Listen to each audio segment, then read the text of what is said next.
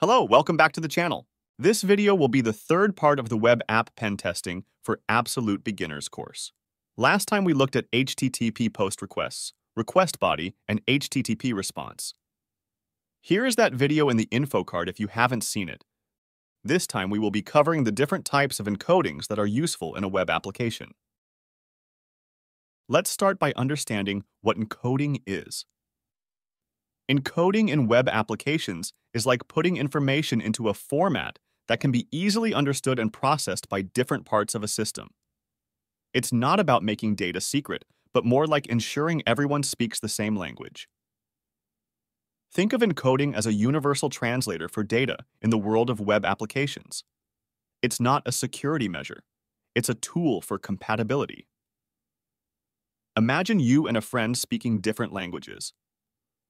To communicate effectively, you might use a translator to convert your words into a language both of you understand. Encoding does something similar for data.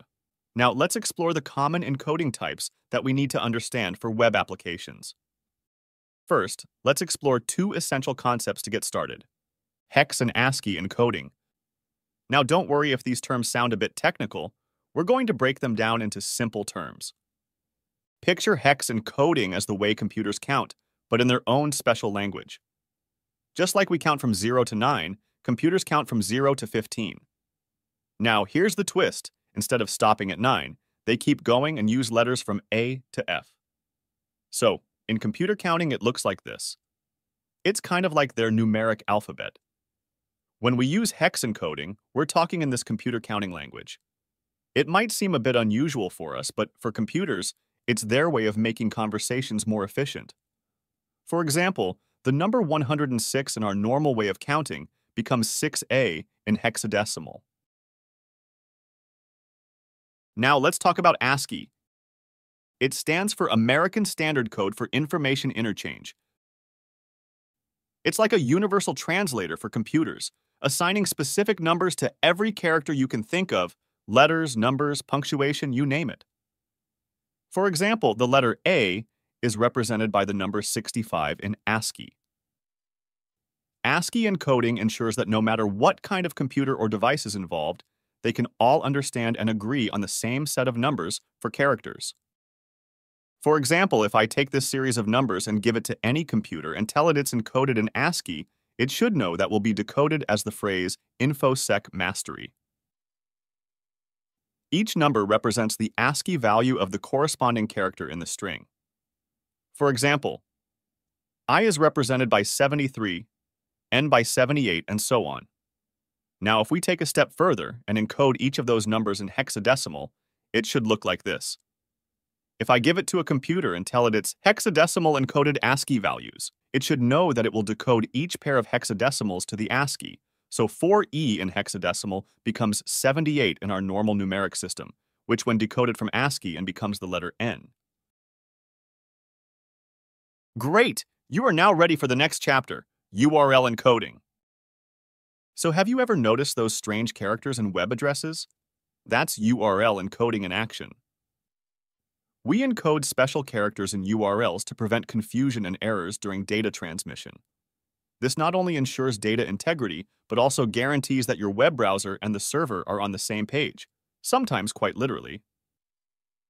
Let's break it down with some examples. Imagine you want to include a space in a URL. Instead of leaving it as is, we encode it as a percent %20 symbol. It might seem cryptic, but it's this level of clarity that prevents potential mishaps and keeps our data safe. Let's take a closer look at why we use the percent %20 symbol in URL encoding. Imagine you're searching for InfoSec Mastery on a search engine, and the URL might initially appear like this. Now here's the thing, URLs can't have spaces. Spaces will cause errors when going through the internet. So encoding steps in to help. After encoding, our URL transforms into this. Now, why percent %20? It might look like a secret code, but it's not that mysterious. Percent %20 is the ASCII hex representation of a space symbol. In the digital world, everything, including spaces, needs a specific code to be properly understood. So when the browser sees a percent %20 symbol, It knows to interpret it as a space. Last, but not least, we have the infamous base64 encoding. It's a versatile encoding technique with various applications in web development. Keep in mind, base64 encoding is not encryption, but it transforms data into a format that is easily transferable. Why is it easy? It's because it transforms any weird symbols you throw at it into a combination of letters, numbers, plus symbols, slash symbols, optionally some equal signs in the end, and that's it. Imagine it as a language that web applications use to share information efficiently. From embedding images in HTML to storing complex data in cookies, Base64 encoding is the glue that binds different components of a web application. Here is why I said Base64 is not for encryption.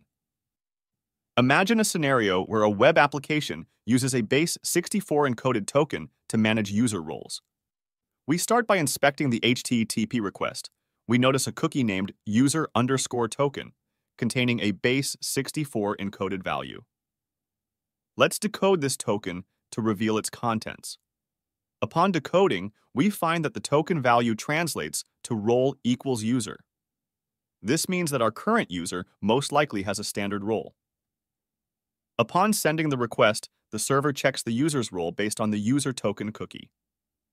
If the role is user, the server responds with unauthorized. Now, let's see how base64 encoding enables us to modify the user role. We'll decode the token, change the role from user to admin, and encode it back.